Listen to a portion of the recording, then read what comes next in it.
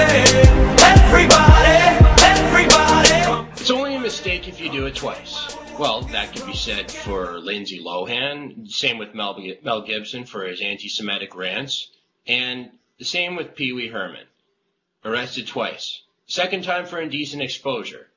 But is it really indecent exposure if your penis is actually inside the popcorn bucket, Ken? Uh, depends how big the popcorn bucket is. Well, what happens if it's a large popcorn and the popcorn starts flying everywhere? It's a good point. I think that's probably inappropriate no matter where you are. All right. So now we can add Islanders forward Trevor Gillies to that list. Just doesn't learn his lesson. Comes back from a nine-game suspension and takes another suspension. This time, ten games. Okay, well, Does this guy have a place in the game today? Well, let's let's back up here. He didn't learn his lesson. Can you describe to me what Gillies' role is on the team? Well, his role is to play physical. It's clearly Play the role that Gar Garth Snow wants him to play. Is his role to skate around out there and not protect the team, or is it to protect the team and stand up when something happens? How can you say that that's protecting the team? Did did what would you do and hit? Let, let's put let's let's think about this scenario. There's five guys in the minors right now. Okay, Gillies fought for about six years to get to the Islanders organization. He realizes what he has to do. He's going to get one or two shifts a game. Do you think he's concerned about going out and scoring a goal?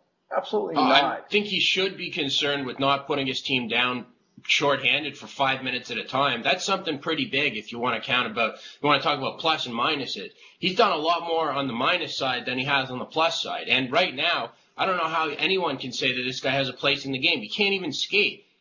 Now, do you think he can skate? He's, he's got a contract. I don't know if you got one right now. Well, okay. Let me ask you a question. How many games do you think, how many goals has he scored? In, in all of his years of pro hockey, how many goals do you think he scored? He's probably scored. How many years pro has he played? Six goals. Six goals. 571 some odd games or something. you- and he scored six times. Like, does that not say that the guy score just can't play the game? Do you think he's there to score goals? No, he's Okay. not. But I don't think he's there to play so physical. He puts his team shorthanded for five minutes at a time. Do you think Garth Snow is sticking up for him in the media because you, you feel he's doing something wrong? No, I think Garth Snow knows lost his role. mind. His role is to stand up for the team. He's going to get two shifts a game. He is the police. When he sees something going wrong, it's unfortunate the calls he's been getting, but he has no choice but to step up to the plate. Clutterbuck, kid runs around with his head cut off. Hammers one of his players, potentially injuring his player. Does he let it go? He lets it go. He comes in the room. Garth Snow says, What are you doing, kid?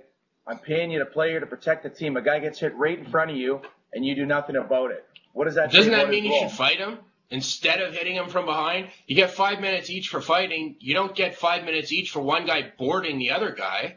Well, I think that call's a little extremist too because of who it was. I mean, they showed some replays of some of the hits back in the day, and I think it was it was a call the league felt they had to make because no big deal. No one's going to miss him if he's not in the game. We already gave him ten. We're going to send another message to the hockey world that we're not going to tolerate that. I think it's bullshit that they give him nine games.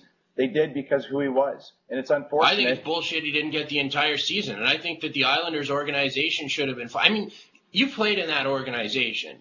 You know what they expect. What was it like for you when you played in the minors? Absolutely. What I, I was in the minors. Uh, I got called up. I knew I had a chance. I got into 18 fights in 18 games. I had Milbury there.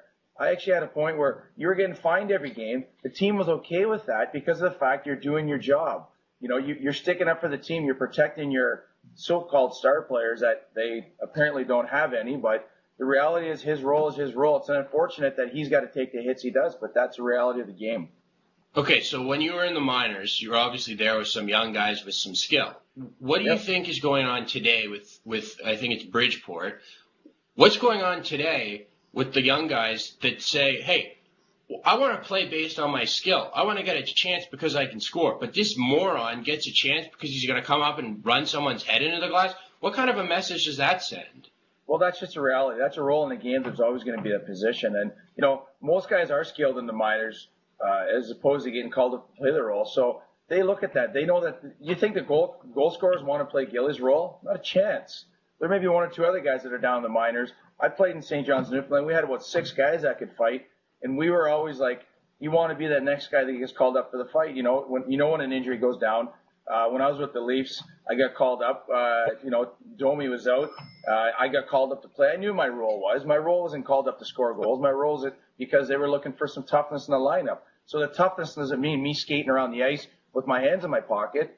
That means me skating around with my gloves off, looking for somebody to send a message. Yep, but you say toughness and you also say fighting in the same sentence. So that's totally different than what this moron is doing. He's not really playing anything that, and he's not really doing anything that no guy in the minors couldn't do.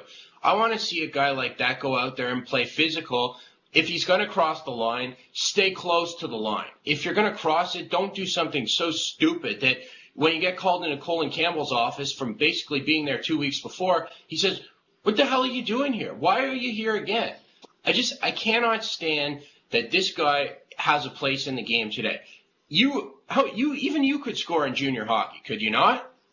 I used to score at will. I used to score in the minors at will. I never wanted to score in the NHL because I was, I had more better seats on the bench watching the game. But obviously, this is why Garth Snow is sitting where he is today, and you're sitting where you are today because he feels that Gillies is doing a good job. He's, he's standing up for his players. He's doing the right thing. Well, I'll tell you what. If I was in Gar Snow's position right now, the Islanders would not be any worse than they are as they are right now. Well, you could also say if Gar Snow had more balls, he'd probably not dress guys like him. If if is the biggest word, we can debate all day long on it. So he's eligible to come back in 10 games against the Thrashers on March 24th. When he does come back, what do you think guys in the opposing team's locker rooms are going to be saying about this guy? Nothing. Everyone understands it's part of the game. I mean, no one looks at him like, I can't believe you got suspended again. Every play, every top guy in every team would have done the exact same thing he done. It's unfortunate with the rival thing with the Pittsburgh. Yeah, he got 10 games. The call was ridiculous, no matter what anybody says. He was going on a shoulder hit because he's a lot stronger than Clutterbuck, is a little shithead. Hits him, hurts him, doesn't hurt him. He gets up, he gets 10 games because of the size of him. How do you make a call upon size? I think it's ridiculous. So I, I don't think you ever make room, calls based upon size. And I heard someone definitely. say something so stupid the other day. They said if you got a guy who's six foot eight hit a guy who's five foot ten, sometimes he hits him with his hip and he, he'll hit him in the head. That's not true. Let me ask you, how many times have you seen? Okay, you played with Hal Gill. How many times did you see Hal Gill hit someone in the head because of his size? Every time he made a breakout pass, he used to hit someone in the head the puck. I've seen every practice. what about what about in a game with his shoulder? How many times did he hit someone in the shoulder? Well, he how I mean, if you know Hal Gill, he's not a very physical player, so um, it's it's kind of uh, the reality is if the guy's got six inches on a guy, his elbows are going to be at his head. I believe I believe that Gillies was coming in to finish his check. He had too much energy going forward. Elbows slid right up, and he hit he hit Clutterbuck. I mean, it looked it looked worse than it was. But you want to get oh, back. it did guys. not look worse than it was. There was one angle that was shot from the stands. It was it was it was brutal. He basically yeah, jumped stand, into his head with his elbows. Now, what skill does that take? If you're a player, you know, you were obviously a skilled fighter. You weren't a skilled hockey player, but you were skilled at what you did. This guy's clearly not skilled at what he does, so he has to do stuff like this. But why would it? Why would it be a place for him on any team's bench? Uh, did you? Uh, I just want to refrain the fact that the non-skilled hockey players. Wondering if you could uh, email me a copy of your first contract. My first contract? Well, I haven't been yeah. offered one yet. Oh, you haven't been offered one yet? Yeah. So how do you know oh, what I'm capable of doing? When you get your first contract from the NHL, shoot it off to me. I want to look for it. Oh, no, hold on. It says Gretzky and Yzerman right behind you, two Hall of Famers, right? Yes, sir. Is there a yes, Hall sir. of Fame Ken Belanger jersey behind? There is uh, actually uh, last year I got inducted to the uh, Sault Ste. Marie Hockey Hall of Fame. So there is uh, there's a letter somewhere. Belanger defies the odds. Uh, who else is in there? Is Paul Maurice in there? Paul Maurice is in there. Uh, Phil Esposito. Is Ted Nolan in there? Ted Nolan's in there. Tony Esposito, Phil, Tony, Mike Zuke. Oh, and Ken. So when, they, when someone says I go, I'm, I'm in Sault Ste. Marie, what should I do? They say, hey, go check out the Sault Ste. Marie Hockey Hall of Fame in there is Tony Esposito, Phil Esposito, and Ken, Ken Belanger. Yeah, absolutely, but, definitely. It's right, right. But you don't have you don't have tickets to the Hockey Hall of Fame in Toronto, where where those two guys are actually residing, right? Uh, not yet. We're working on that. Okay, let's move on. I want to ask you about Bruce, Bruce Boudreau. Last night, uh, sorry, a few nights ago, he said, "If I'm a ref, I would never make a call on Downie. He dives every two seconds. Stamkos, He also dives every two seconds. End quote. Does a coach really have a place saying this? No, I, he's he, he doesn't have a place saying it because the reality is there's nothing worse than somebody chirping who doesn't get on the ice. So a guy chirping like that, his mindset is to create some animosity, adversity before the game, get the media stirred up, get those, get those guys thinking, try and get them off their game with the stupid chirp. Maybe make it more aware attention for the refs to notice if they do dive, if they are diving, because now it's a media. So that he just brought it to light that he feels that they're divers. Do you think they're divers? No, I don't think they're divers. I, I just think the reality of the game is that guys play hard and some guys are stronger than others. Some guys are weaker skaters. So what he's trying to do is he's basically trying to get the refs on his side, correct? I just think he's trying to make it well public knowledge, right? He, the way he feels. So, what better way to get your message out there than go to the media? You can't get. when you were in Boston with Joe Thornton, who who was your was it Mike O'Connell was coaching you? uh, Pat Burns and Mike Keenan. Burnsy, who's Burnsy. actually at the Burns the uh, the Pat Burns charity event earlier this week, who was put on by Mike Keenan. But Yes. do guys like that ever say anything about about opposing teams' players to the media? No, I think Burnsy was famous, uh, you know, always uh, flexing the muscle. Uh, you know, uh, I was in the bench a few games. You know, who was it against? Uh, he, he wanted. He I, got into a fight and I beat their guy up, and he's flexing his muscle. And he he got used to get so emotional into it, but he wouldn't make media first. But let's not forget the game has changed over the last ten years with the media, uh, with the, all the tweets and all the you know the Facebook, YouTubes. So a guy says one word, and what is a what is a sort of a local media uh, interview turns into a global media interview in seconds. So uh, the media is a lot quicker, faster, and more exposure for you know interviews from coaches as well. Personally, I, I really had no problem with what he was saying. If he actually believes that those guys are divers, then what's the problem? Like, why is it so against the code for guys to say about talk about what actually goes on and say things that are the truth? Why is it so against the code? Well, you know the re- the reality is because the guy's behind the bench. If he's got the gear on, and, that, and that's that's where dis- you're disrespecting the game is that if you're going to chirp, step up to the plate. If you, you know you, you're going to throw fuel in the fire, you better be able to put it out. And the reality is, a coach can't put it out. He'll send somebody else to put it out. So guys don't respect that much, but. You know, Boudreau played the game. He knows the game, and I just think he's trying to get you know the media getting those guys' kitchen. It was you know, did it work? Hey, they won the game last night. You said throw guys out on the ice who will do it for him. Were you ever that guy? Uh, I was that guy, definitely. Give me an example. Give you an example. Well, uh, what type of example? One example where I was actually thrown Well- onto the ice. Every, every game I played, uh, wherever there was a bad. Actually, I'll give you an example. We were at uh, in the Boston Bruins playing in Maple Leaf Gardens. Uh, Tie Domi come across the ice and absolutely crushed uh, Shawn Bates. He, Domi gets a two-minute interference penalty. Next shift, obviously I'm out there. Burnsy puts me out there, and so I have to do something. I'm out to draw against Gary Roberts. Robs, he doesn't really want to fight, but the reality is I was going after him no matter what, and that's it. I got he, he knew it was coming, and he didn't have a choice, and so And what happened No. in that fight? uh, I think I uh, it was a mediocre fight. I obviously beat him up, and then I got kicked out of the game for instigating. Okay, now, did that ever stop Domi from doing anything ever again? No, but what it does is cross send a message that you're going to Well, hit what the hell guys. good does that do if it doesn't actually stop them from doing things ever again? What difference well, does you it make? send. You're sending a message to the team. If you're going to take our guys out, we're going to take your guys out. If you want to play. Okay, that what way, happened? what happened in that game? Uh, we obviously, I think we lost probably four or five one. Okay, so you guys lost four one, and Domi gets to hit Shawn Bates, and you go out and fight Gary Roberts. Doesn't that kind of say there's there's whole there's a whole confusion of what should happen? Why don't you go out there and grab Domi and beat him up? I already beat him up about six times. It was kind of boring punching him. It was kind of not. I had nothing but ice my hands after every time I fought him. So every time you fought him, did you guys lose? Uh, no, actually, Toronto was losing at one time, and we were in warm up, and it was in Boston. I could tell Domi wanted to great up warm up. I actually got a photo of it, and he's he's got his game face on, just staring at me the whole warm up. I'm like, I I know he's coming, and I think Toronto's having a, they're having a tough time in the media, and so their first road trip, obviously into Boston, I knew it was coming. So, uh, you know, we used to fight beginning of the game. Depends on you know the scenarios of what happened in game before. Uh, was it, were they winning or losing? Wow. The problem is that the Leafs obviously won that game, didn't they? Five one, you said. Oh, that was the game before they won that game. Oh, okay. My bad. All right. Let's move on. I want to ask you something today. I'm going to try something new. It's called Back in the Day. Back in the day, Aaron Ward playing for the Boston Bruins, Scott Walker playing for the Carolina Hurricanes.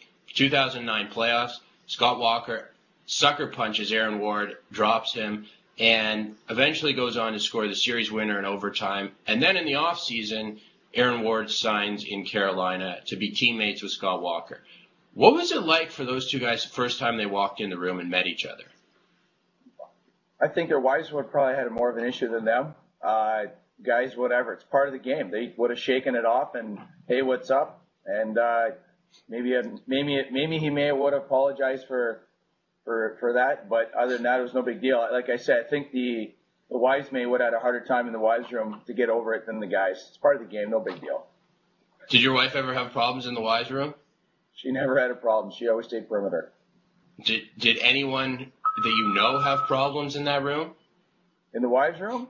Yeah. Uh, I'm not sure. That's really sacred territory. I never really spent much time in there. Well, when you're a healthy scratch, you couldn't sp- you couldn't walk down there and say hi. When I was a healthy scratch, I was Yeah. up in the press box eating popcorn.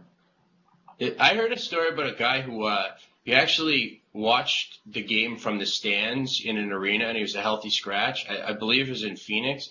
No one knew who he was. No. Oh, yeah, I, bel I believe that. Could anyone have ever done that with you? Could you have ever gone down, watched the game from the stands, and no one would have known who you were? Uh, depends where you play. If you if it was in the, like uh, you know the the southern cities, no one cares about who you are. People are at the game; they don't know the players. There's no media exposure, so um, I've seen. Uh, you know, I've been in games. whoa, you whoa, get- whoa, hold on. Stop, stop, stop, stop. Did you just say I seen? I've seen games. Now, hold on Okay, a second. I've seen You're not. Hold on. You're not only you're not only a tough guy. You're a GM, but now you're a, an English major. No, All no, I'm just person? I'm just not an idiot. That's what I am. So, okay, carry on. I like it. I'm not an idiot. I'm everything except an idiot. Yes, that's me. Keep going. I, I want to hear your story. All right, what story? Well, I said, could you watch a game from the stands? Yeah, you know what? You could. And you're, I mean, living in the Canadian markets impossible, but anywhere out, you know, in the southern markets, no problem whatsoever because there's probably empty seats everywhere, so it's not a big deal. Definitely. True. You got anything for me today? I do. I have, uh, you know, a couple questions here uh, for you. All right. Of- Let's prove. Let's prove that I know the game as well as you. All right. Uh, the, uh, the Fat Club and training camp. Do you know what the Fat Club is? And do you and do you think you qualify to get in there before you you tell me what it is? Well, I want to guess the Fat Club, where, wherever it is, it will involve Kyle Wellwood. All right, Fat Club. Oh, Anyone over it's ten percent? The Fat Club. I know what it is. I know what it is. It's when you show up to training camp, anything over 10% body fat. All right. Would you qualify? I probably would Club? qualify because I'm at 12. Nice. Well, you're close. What are you at today? Um, I, okay. If you played the game, what would your Oh, hold on, be? hold on. We're not done with this question. What what what percentage are you at today? Oh, me? Yeah, Probably about ten and ten and three quarters. ten and three quarters. That is You know? BS. If they I'm took probably- those, if they took those things and grabbed something, they need to back up and and and and grab some more. You know what? I'm probably. Uh, I haven't worked out in about six years, so but I'm still lean. I'm still lean, and uh, I've only put about ten pounds on. So I'm probably about 15% body fat. But I, you know, I'm feeling urge to get back and start training again. All right, keep Oh. going. Fire away. Um, if you played the game, you talk a big game. You, you seem to know everything. So what? I, I'm just curious of what type of player you would be on the ice. Who would you I would have been a goal scorer. No, actually, you know what? I would have been Gary Roberts. scorer. Yeah, What I would have been Gary? Roberts. One of my favorite players of all time played the game physical. He would always back up his teammates, and he could score. That's who I would have been. All right. Uh, a black ace. What? Can you give me the terminology? What is a black ace? In the playoffs, when a guy uh, guy gets called up, there's six spots, and none of those guys play. Those are the guys who don't play in the playoffs. Good, that's fair. Now there's guys. You were a black ace many times, weren't you? I was a black ace many times, and you know what? It's uh, it's an easy job in the playoffs because you you, you get bag skate during the day. You know what a bag skate is? Uh, I know what a bag skate is. All right. It is. Oh, a bag skate is when your coach just puts you through an absolute terrible workout because you played like crap the night before. I'll give you a bag skate story that uh, I was on New York Islanders, the Vice Yeah. Islanders. Mi- Mike Milbury, uh, as the Milbury is on TV these days, uh, full of everything except for knowledge. Um, we were playing the Islanders. I was in the fat club. Okay, Yeah. 11% body fat, 1% over. I'm 230 pounds. I'm 11%. Then we got Ziggy Palffy, who is 130 pounds, and he's at 10%, but that's okay because I'm in the fat club. So, so anyways, he decides to uh, skate me. So during the game day, any guys who stay on the ice extra from the color coaches aren't in the game that night, so they got to get an extra workout in. So I'm doing my extra workout. We're doing, we're skating the walls. We're doing walls. You know what wallies are? no, I don't. Okay, wallies are when you, all the guys line up on the sideboards and go over and back. All right. Oh, yeah, There so just red line, blue line, red line, blue line. No, side to side, side to side. So Okay. now they can go up to ten and down, right? So you go one Yeah. across is one, there and back is one, two. Anyways, everyone's doing it, but doesn't Mike say to me, "You, hey, you grab the net, you push the net, doing this"? Said All to right. you? To me, yeah, yeah. So, I- so I got the net. I'm pushing the net in snow, doing the wallies. Everyone else is just skating. All right, no big deal. I grind it out. I do it. We skate for an hour. We get off Yeah. the ice. We have an out. We have an hour workout. All the, Yeah. all the guys. All right. Obviously, I'm not playing. So doesn't uh, at two o'clock? I go to the mall. I go buy a new dress shirt. I get home at I get home at quarter four. Joey McMahon, the trainer for the Islanders at the time, calls me and says, "Where are you?" I'm like, "What are you talking about?" He goes, "Your jersey's hanging up. You're playing tonight." I'm like, "You got kidding me?" I didn't eat all day, didn't sleep, and we were playing the Rangers. Lo and behold, Darren Langdon, longest fighter in the league. Yeah. I, I, I you got to be kidding me. So I race down the rink. I get there. Uh, just missed the team meeting, but he didn't realize I wasn't even there. And I get in, They changed probably up. didn't know who you were. He did know. He knew, he knew I was the guy pushing the net. I get one shift against Darren Langdon, get into a fight with him. It was about Yep. a five minute fight. Never got one shift the rest of the game. Did you get a paycheck at the end of the month? That was training camp, so I never even got paid for that. Wow. That's the worst thing. So Wow. there's my uh, you- there's my story. Did you have a roster spot? I did have a roster spot because you know why? Because I went that out there and got I went out there and got into a fight. Like Mr. Right. Gillies, keep his spot. well, how about What? this? Keep fighting like this. Next week we'll have another show. How about that? I like it. I'm ready. All right, I, uh, I may uh, even hit. I may even hit the bike. I'm ready for next week. Feeling good. All right, sounds good. It'll be the first time in six years. first time in six years. All right, we're gonna go for Ken Belanger, Dave Turner on the other end. I'm Corey Landsberg. We'll be back next week. I'm not afraid. I'm not afraid to take a stand. Take a stand. Everybody.